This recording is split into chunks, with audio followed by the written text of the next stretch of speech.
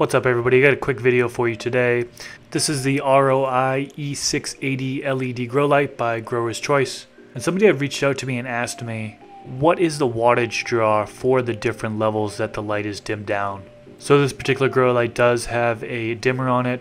It can be dimmed down from 100% down to 80%, 60%, and 40%. So I'm going to use my Kill-A-Watt meter and find out what the wattage draw is for those different levels, as well as the amperage draw as well. Okay, so let's start at 40%.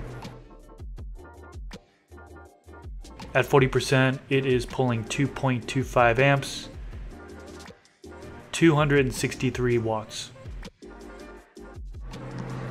Bumping it up to 60%, it's pulling 3.32 amps, 392 watts.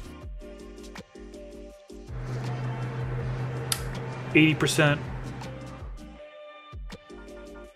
4.72 amps, 558 watts.